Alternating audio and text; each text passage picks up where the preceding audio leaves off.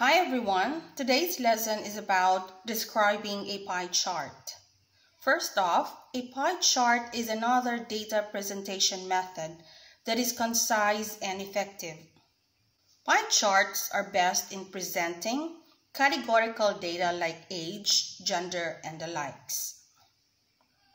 These are examples of pie charts. As you can see, they are colorful.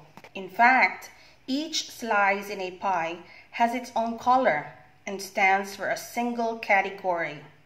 Remember, just a single category can be depicted in one slice of a pie. Let's now move on to the parts of a pie chart.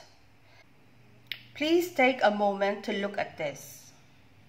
If you have noticed, the values are all positive Negative values as well as zero can't be represented. Alright, let's now proceed to the main lesson. The steps in describing a pie chart is similar to a bar graph. Once again, take a moment to please read the following steps. Thank you. So let's take this pie chart as an example. Before you begin writing, before you start with step one, the outmost essential thing to do first is to examine your pie chart. Take a look at the title, the categories, and the values provided. After this, you may begin with step one which is to write a general statement of what the chart is about. Information for this step can be found on the title, the legends, and the source and notes if they are provided. So for this sample pie chart, we may write our general statement this way. Let me read it. The given pie chart provides the proportion of energy sources for electricity in the U.S. in 2009. Notice that the statement begins with an introductory phrase.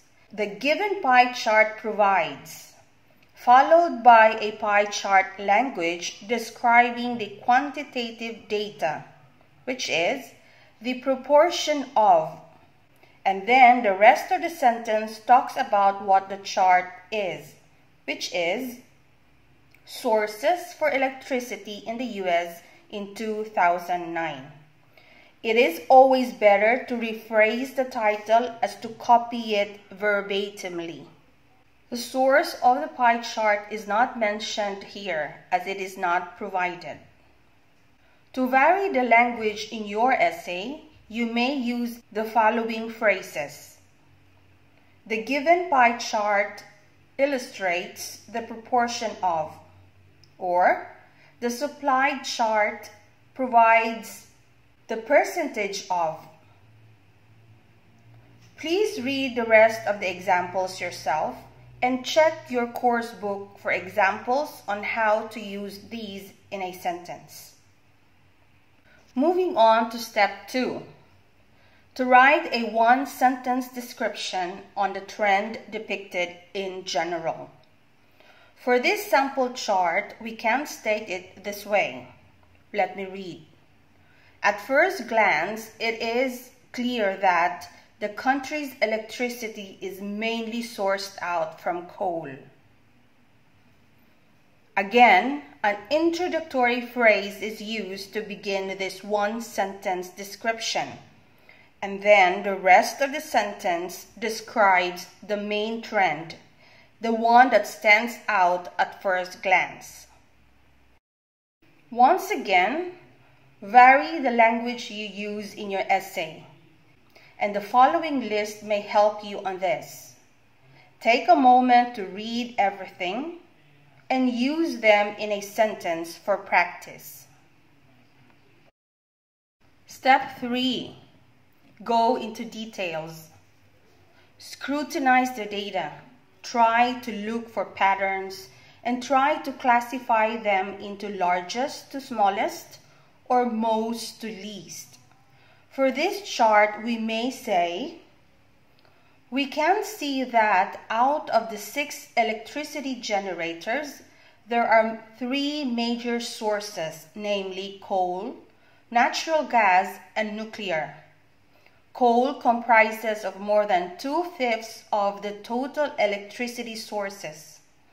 This is followed by almost a quarter of natural gas and a little over a fifth produced from nuclear power at precisely 20.3%.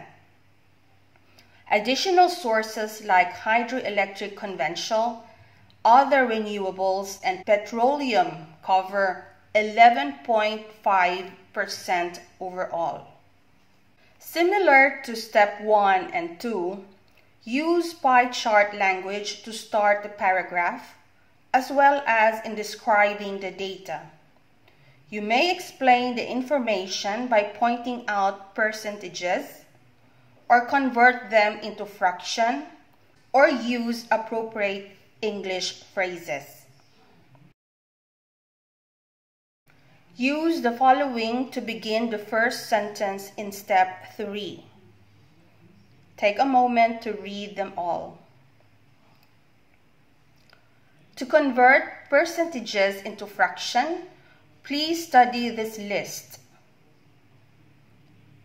If the percentages do not exactly match, then use these qualifiers. Also, you may use other phrases such as these to describe a certain range of data. Finally, step 4 a short summary of the major trends and changes. As there's only one pie chart, the trends and changes that you could mention here are limited. For this chart, we may conclude it this way. And a further look at the data as a whole shows a great disparity between the 88.6% electricity produced by the three major sources against the considerably minute 11.5% made by the minor electricity suppliers. As a whole, this 2009 U.S. electricity generation by source pie chart can be interpreted this way. Please read and study the paragraphs. Can you provide your own interpretation of this chart? Put your knowledge on pie chart interpretation to the test. Describe this pie chart. Good luck.